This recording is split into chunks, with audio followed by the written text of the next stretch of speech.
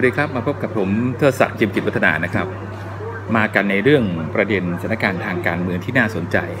ต้องยอมรับว่าสถานการณ์ทางการเมืองที่น่าสนใจขณะนี้คงหนีไม่พ้น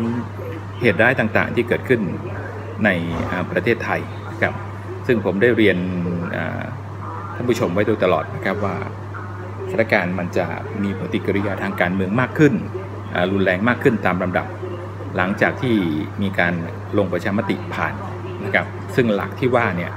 เป็นหลักการต่อต้านรัฐประหารนะครับ ซึ่งเคยใช้มาตั้งแต่ปี 2550 นะครับ ซึ่งถูกพัฒนามาจากตำราชุนชิวนะครับ ซึ่งในระยะแรกมี 38 บทต่อมาก็พัฒนาเป็น 99 บทนะครับ ก็เป็นตำราเก่าสมัยโบราณ และมีการนำมาพัฒนาในการปรับปรุงใช้นะครับ ทำร้ายทำลายต่อต้านรัฐบาลทหารมา 2 รัฐบาลรัฐบาลนี้เป็นรัฐบาลที่ 2 ในเชิงกลยุทธ์นะครับสถานการณ์หลังจากนี้หลังจากเกิดเหตุในส่วนของเหตุการณ์ที่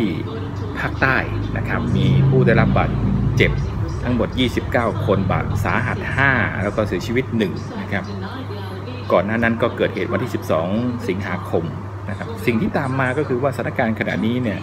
จะรุนแรงขึ้นตามลำดับนะครับ เรายังคงเห็นการขู่วางระเบิดตามจุดต่างๆนะครับ เห็นการก่อการร้ายตามจุดต่างๆ มีการเอาระเบิดมาขู่กระสุนมาขู่ระเบิดจริงระเบิดปลอม ฉะเชิงเซาหรือว่าแปดริ้วระเบิดถึง 2 ครั้งนะครับต่อต่อต่อต่อกันแล้วก็เรายังเห็นที่ปัตตาลุงมีการพบระเบิดแอบปืนจำนวนกระสุนปืนจำนวนมาก ก่อนหน้านั้นก็มีการที่สมุทรปราการก็พบระเบิดรถถังนะสิ่งเหล่านี้คงคงเป็นคำตอบว่าไม่ใช่เป็นเรื่องของ BRN หรือโจรใต้นั่นเองนะครับถ้าเราเห็นสโคปได้ครบเนี่ยมันไม่ใช่เป็นเรื่องของโจรใต้นะครับเป็นเรื่องของคนภายในประเทศนะครับที่เป็นผู้ดำเนินการในเชิงยุทธวิธีนะครับแล้วก็มีคนสั่งการจากต่างประเทศ มีอดีตนายกรัฐมนตรีคนหนึ่งนะครับมีอดีตผู้บัญชาการทหารสูงสุดผู้บัญชาการทหารบกคนหนึ่งเข้าไปเกี่ยวข้องนะครับแล้วก็ดำเนินการแบบนี้ไม่ใช่มาครั้งแรกทำมานานแล้วล่ะครับ 10 กว่าปีที่ผ่านมาก็เป็นลักษณะอย่างนี้นะครับไม่ใช่ครั้งแรกหลังไปดูหลักคิดในเชิงปรากฏการณ์หลังวันที่หลังวันที่ 12 สิงหาคมที่ผ่านมา ไปเทียบกับหลังวันที่ 31 ธันวาคม 2559 เหมือนกันเลยครับ หลังจากประชามติผ่านเหมือนทุกอย่างเหมือนกัน หลังจากเกิดวินาศกรรมใหญ่ก็จะเกิดวางระเบิดปลอมเต็มไปหมด แต่เทียบกับปี 2553 เหมือนกันครับ ปี 2552 ก่อนเมษาจราจรก่อนเกิดเผากรุงเทพปี 53 ก็อย่างนี้สูตรเดียวกันกลยุทธ์เดียวกันยุทธวิธีเดียวกัน ไม่มีอะไรเปลี่ยนแปลงไม่ได้ทีเดียวเลย หลักการเดียวกันกระบวนการทางความคิดเดียวกันเหมือนกันทุกอย่างนะครับนั่นหมายความว่าคงจะเป็นคำตอบได้นะครับ ว่าสถานการณ์หลังจากนี้เนี่ยคงคงจะหนักขึ้นตามลำดับหนักขึ้นตามลำดับรุนแรงขึ้นตามลำดับนะครับ ทางออกของรัฐบาลทหารคงหนีไม่พ้น เมื่อสืบค้นหาข้อเท็จจริงแล้วนะครับว่าใครอะไรที่ไหนยังไง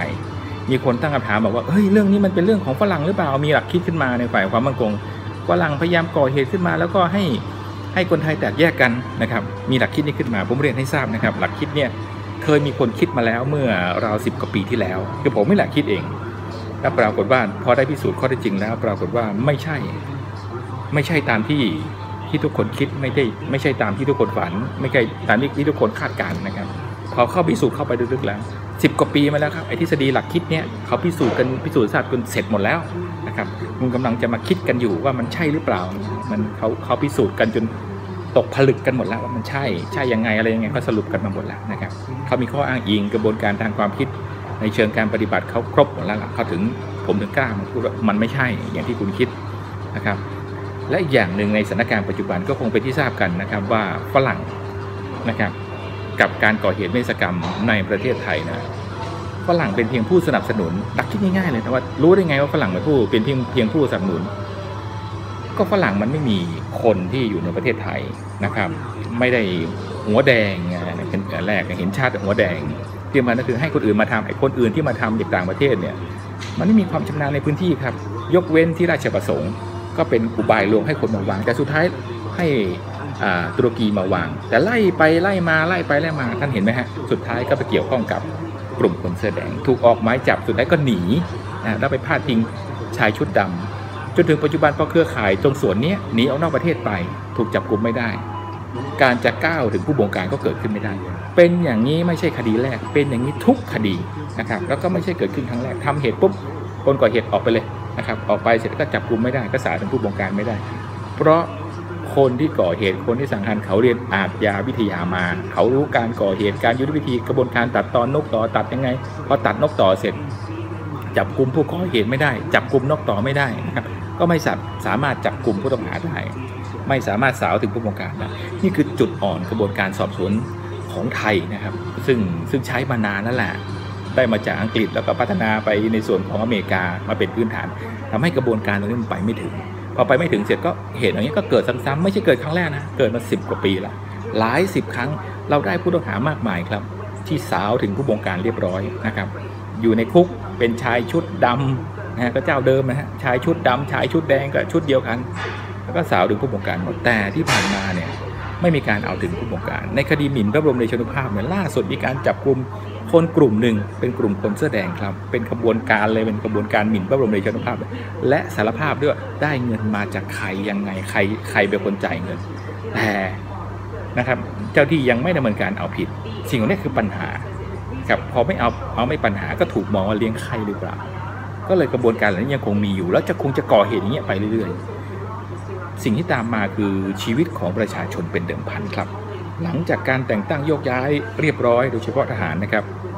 รัฐบาลทหารต้องตัดสินใจนะครับว่าจะทำยังไงต่อไป เพราะว่าถ้ายังคงล่าช้าชีวิตทรัพย์สินของประชาชนเป็นเดิมพันทางการเมืองครับ วันนี้ผมเทอศักดิ์เยียมกิจวัฒนาลาไปก่อน สวัสดีครับ